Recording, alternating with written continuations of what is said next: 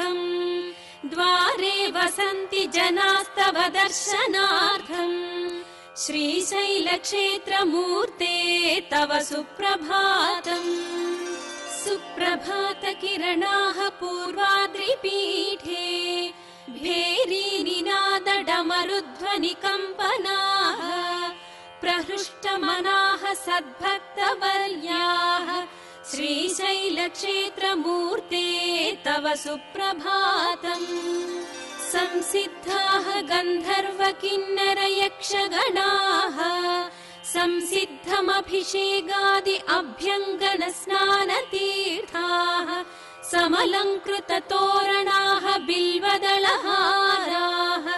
श्रीशैलक्षेत्रमूर्ते तव सुप्रभातम् हे शङ्कर त्रिनयन त्रिशूलपाणे विश्वेश्वर विश्वरूप विश्वम्भर पिनाकपाणे कैलासनाथ गङ्गाधर चन्द्रमौळे श्रीशैलक्षेत्रमूर्ते तव सुप्रभातम्। महिमान्वितमूर्ते महोज्ज्वल दिव्यदीप्ते मदनारे महेश्वर मनोकीर्ते भ्रमराम्बिका प्रणय पावन चक्रवर्ते श्रीशैलक्षेत्रमूर्ते तव सुप्रभातम्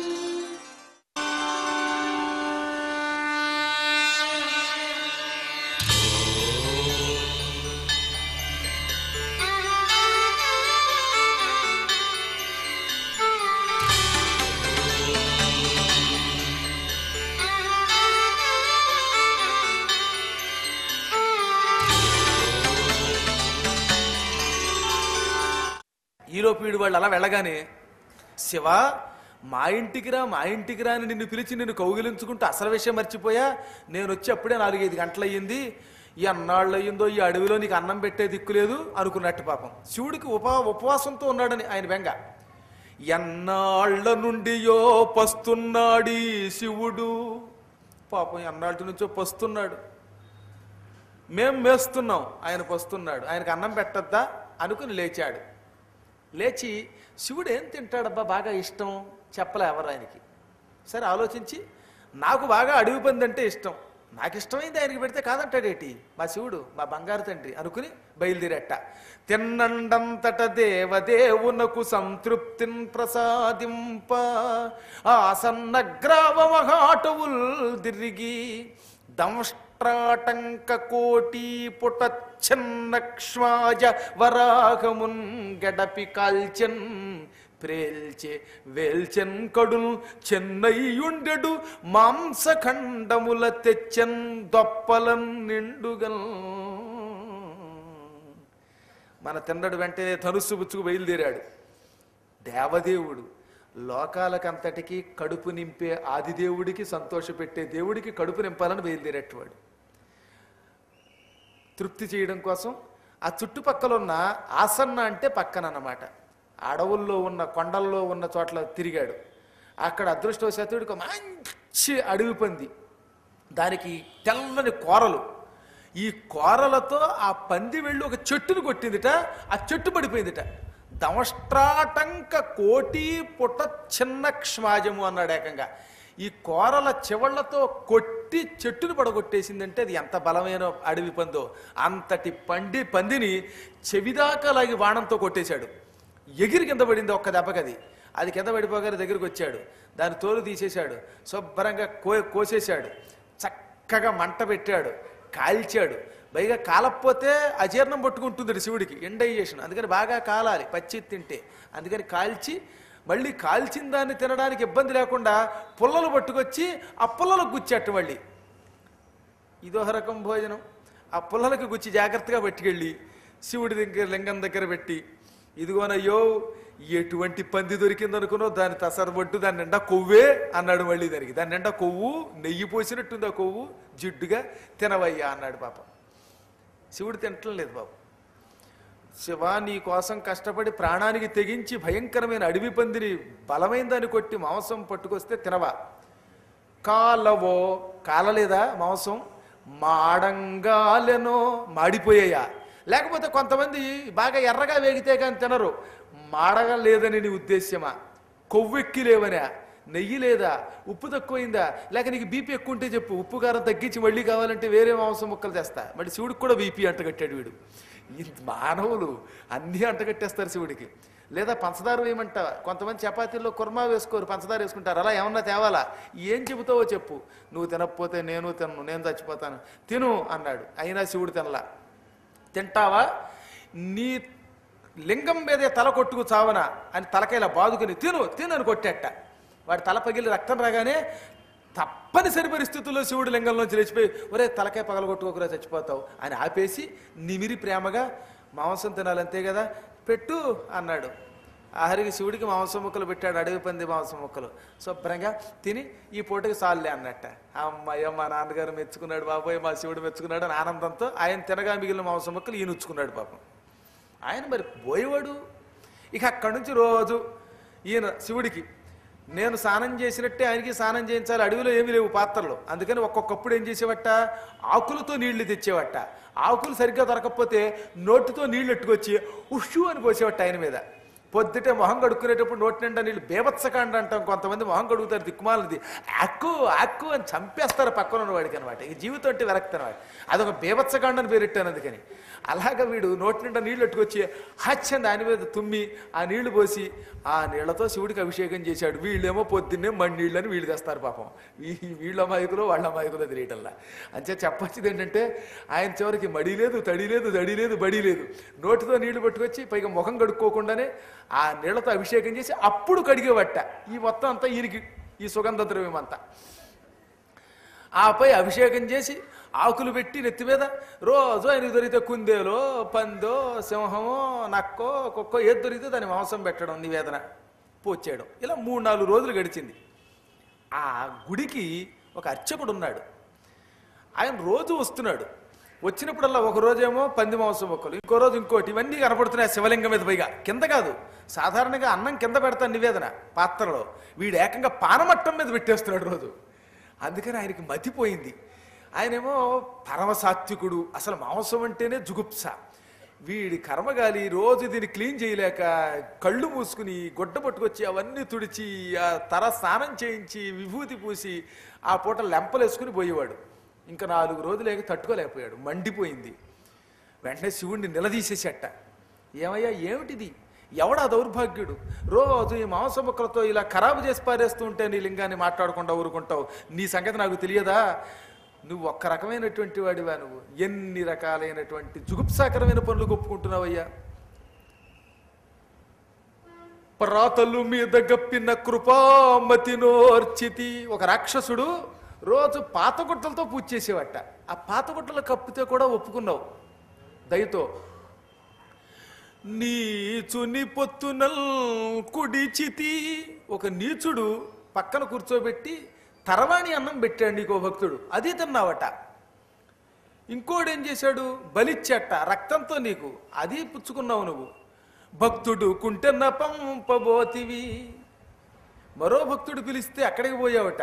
ఏకంగా తలకాయ నరికి అక్కడ నీకు బలిచ్చేట మరోహడు మెడలో పుర్రెలేస్తాడు ఒకడు మద్యం నివేదన చేస్తాట ఒకడు బూడిద పోస్తాడు ఒకడు వీళ్ళందరినీ ఎలా భరిస్తున్నావు స్వామి? నువ్వంటే జగన్నాయకుడివి జగత్పతవి భరిస్తాం మేము ఎలా భరిస్తాం? చూస్తూ చూస్తూ ఆచారం మడిని మాది. ఏం అన్యాయం? చెప్పు ఆ దుర్మార్గుడు ఎవడో. నువ్వు ఆ పూజని వదులుతావా? లేకపోతే నన్నే చావమంటావా? ఈయన చస్తానని బెదిరించాడు మళ్ళీ. నేను చస్తానని బెదిరించాడు. సుస్పష్టంగా చచ్చిపోతాను. నువ్వు నిజం చెప్పువాడు ఎవడో చెప్పు అన్నాడు.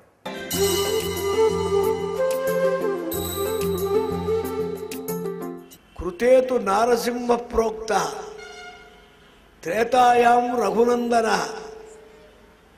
ద్వాపరే రామకృష్ణౌ చ కలౌ శ్రీపాద వల్లభ రెండో పాఠం వెంకటనాయక. యుగానికి ఒక అధిష్టానమైనటువంటి మూర్తిగా పరమాత్మ ప్రకాశిస్తూ ఉంటారు. భక్త సంరక్షణం శిష్ట రక్షణం దుష్ట శిక్షణం ధర్మస్థాపనం జగదుద్ధరణం లోక కళ్యాణం. స్వామి అవతారాలకి యదా యదా హి ధర్మస్య గ్లానిర్భవతి భారత అభ్యుత్నం అధర్మస్య తదాత్మానం సృజామ్యహం అంటారు గీతలో. ప్రతి అవతారం కూడా అలాగే. ఇక్కడ ఈ నాలుగో అవతారం ఉన్నదే ఈ నాలుగో యుగంలో. కలవు వెంకటనాయక కలవు శ్రీపాదవల్లభ. కృతే తు నారసింహ కృతే జనార్దన ప్రోక్త. అక్కడ కూడా రెండు పాఠాలు ఉన్నాయి. ఈ మూడు యుగాల్లో ఉండే అవతారాలకి నాలుగో యుగంలో అవతారాలకి తేడా ఉంది. నాలుగో యుగంలో అర్చామూర్తిగా పరమాత్మ వెంకటనాయకుడుగా అవతరించారు. అది భోగస్వరూపం. మీకు చూస్తే తెలుస్తుంది ఆ గంగాళాలు ఆ పురిహారులు ఆ స్వీట్లు ఆ త్రికార నైవేద్యాలు ఎన్ని నైవేద్యాలు ఉన్నాయో ఆ ఉత్సవాలు వైభవాలు అలంకారాలు యో భోగమూర్తి అయినా ఇక యోగమూర్తిగా శ్రీ దత్తాత్రేయ గురుమూర్తి. ఇది అవధూత స్వరూపం. ఒకటి భోగ ఒకటి యోగ. కలవు నిద్రాణవ సర్వే. కలియుగంలో దేవతలంతా నిద్రపోతారట. వాళ్ళకు స్లీపింగ్ టైం ఇది. మనం వెళ్ళి డిస్టర్బెన్స్ చేసినా హారతులు ఇచ్చినా గంటలు కొట్టినా వాళ్ళకి అది బాధగా ఉంటుంది కానీ ఉపచారంగా ఉండదు. కనుక కలిలో జాగ్రత్త అవస్థలో భక్తులను అంటుకొని వెంటబడి కన్ను కన్ను తెరిచి అనుగ్రహించే మూర్తులే రెండు. ఒకటి వెంకటేశ్వరుడు మరొకటి శ్రీదత్తాత్రేయ గురుమూర్తి. పరమాత్మ ఇద్దరవుతారా అని కలవు వెంకటనాయక వెంకటాచల వాసీచ దత్తాత్రేయ సహస్రనామంలో ఇదొక నామం. వెంకటాచల వాసీచ వెంకటేశ్వరుడు ఈయనే వెంకటేశ్వర సహస్రనామంలో అత్రిపుత్ర అనసూయ కుమార ఆత్రేయ శ్రీదత్త వెంకటేశ్వర సహస్రనామంలో మా నామాలి ఈయనే ఆయన ఆయనే ఈయన యోగమూర్తిగా భోగమూర్తిగా. రెండు రకాలైనటువంటి మూర్తులుగా కలియుగంలో ప్రకాశిస్తారు. శ్రీ దత్తాత్రేయ గురుమూర్తి కలియుగంలోనే ఆవిర్భవించారు వెంకటేశ్వర స్వామి వారు. శ్రీ దత్తాత్రేయ మూర్తి కృతయుగం మొదట్లోనే ప్రారంభం. క- బ్రహ్మ కల్పంలో మొట్టమొదలు అవతరించిన మూర్తే శ్రీ దత్తాత్రేయ మూర్తి. భాగవతంలో ఆ షష్ఠ అన్నారు. వారిచ్చిన లిస్టు ప్రకారం ఆరు కానీ ఆయన అవతరించింది ఆరని కాదు. అక్కడ మనం గుర్తించాలి. ఇక్కడ అవతారాలు చెప్పారంటే భాగవతంలో చెప్పినవన్నీ ఒక యుగం తర్వాత ఒక యుగం అని అర్థం చేసుకుంటే పొరపాటు భాగవతం అర్థం కానట్లే. సందర్భం వచ్చినప్పుడల్లా పరీక్షిత్తు అడిగిన దానికి ఆ సమాధినిష్ఠుడైన శీశుక యోగి సందర్భం వచ్చినప్పుడల్లా స్ఫురించిందల్లా చెప్పారు. కాబట్టి కాలక్రమం కాదది. ప్రథమ అవతారం శ్రీ దత్తాత్రేయమూర్తి ప్రియ భగవద్బంధువులారా ఉదయం లేస్తూనే ఋషులను స్మరించుకోవడానికి ఓం నమ పరమ ఋషిభ్యో నమ పరమ ఋషిభ్య అని చెప్తూ నిద్రలేవడం మన భారతీయ సంప్రదాయం. సనాతన ఋషులు మనకి అందించినటువంటి జ్ఞానంలో భాగంగా కించిత్ ఖగోళ శాస్త్రానికి సంబంధించినటువంటి కొన్ని కొన్ని విషయాలను కొద్దిగా పరిశీలించేటటువంటి ఒక ప్రయత్నాన్ని చేస్తున్నాం.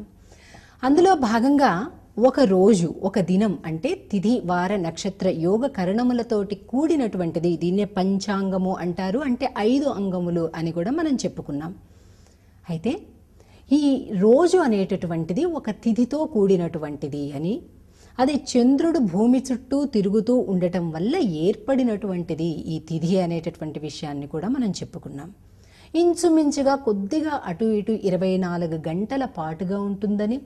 ఈ సూర్యోదయము నుండి తిరిగి పునః సూర్యోదయం వరకు ఉండేటటువంటి సమయాన్ని ఒక రోజుగా మన ప్రాచీనులు మనకి అందించారు అనేటటువంటి విషయాలను మనం స్మరించుకుంటే ఇది చంద్రుడు భూమి చుట్టూ సంచరించేటప్పటి విషయం.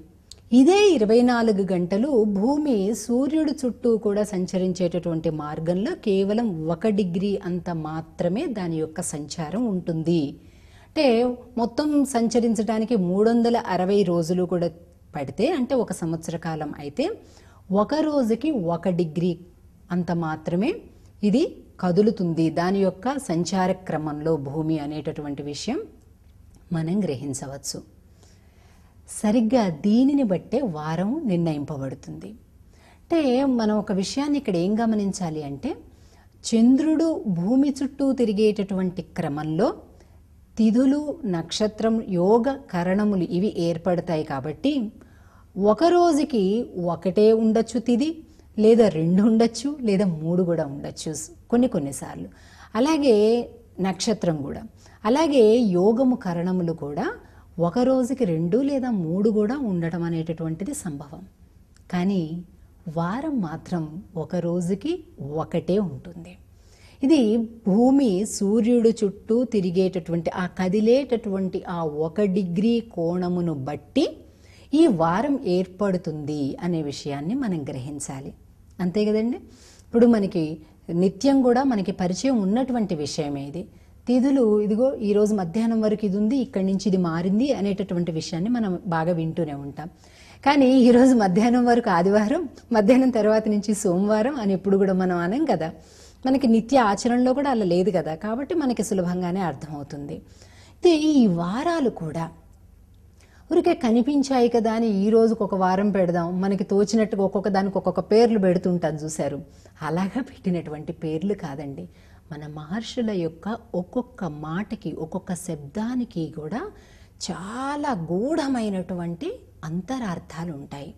మనం పిల్లలకి లేదా పిల్లులకి కుక్కలకి ఇష్టం వచ్చినట్టుగా బుద్ధికి తోచినట్టుగా పెడుతుంటాం చూశారు పేర్లు.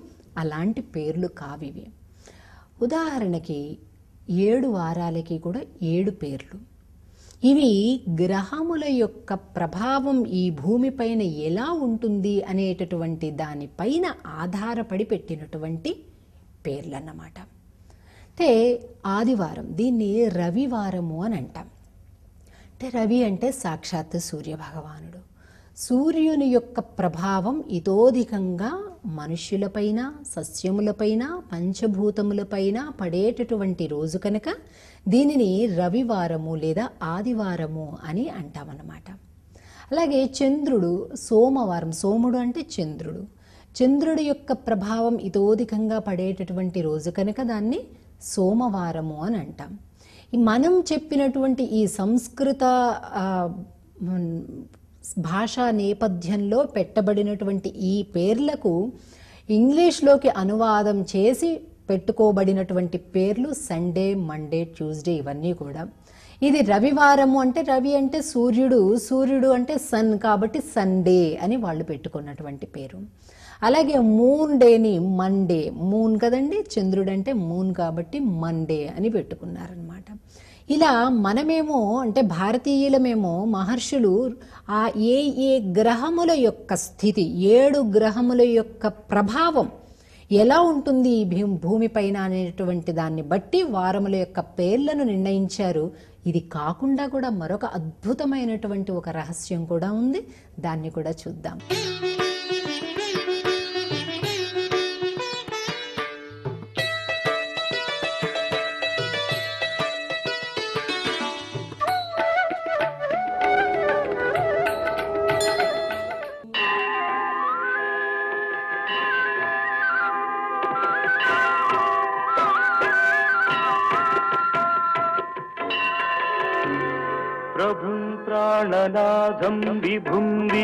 नाथम जगन्नाथनाथं जगन्नाथनाथं सदानन्दभाजम्।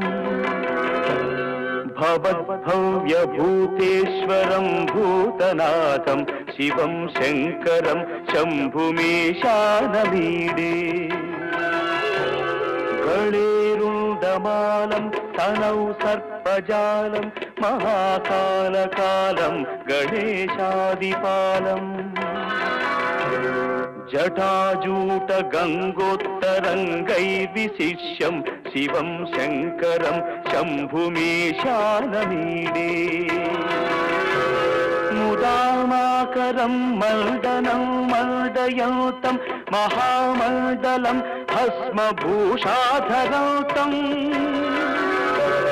अनादिं ह्यपारं महामोहमारं शिवं शंकरं शंभुमीशानमीडे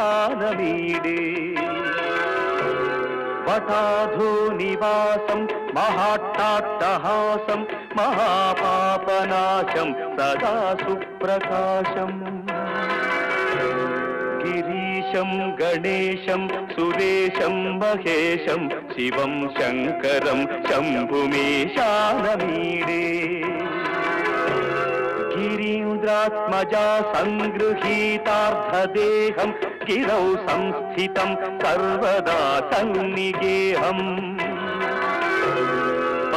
ब्रह्म ब्रह्मादिभिर्वन्द्यमानम् शिव शंकर शंभुमीशानी कपालं त्रिशूलं कराभ्यां दधानं, पदां भोजनं राय कामं दधानम् बलिवर्दयानं सुराणां प्रधानम् शिवं शङ्करं शम्भुमे शारमीडे गणानंद गणानन्दपात्रं, त्रिनेत्रं, पवित्रं धनेशस्य अपर्णा अपर्णाकळत्रं सदा सच्चरित्रं शिवं शङ्करं शम्भुमे शारमीडे हरं सर्पहारं चिताभूविहारं भवं वेदसारं सदा निर्विकारम्। श्मशाने वसन्तं मनोजं दहन्तं शिवं शङ्करं शम्भुमेशानीरे स्वयं यः प्रभाते नरश्यो मूलपाने पठेत् श्रोत्ररत्नं त्विह प्राप्य रत्नम्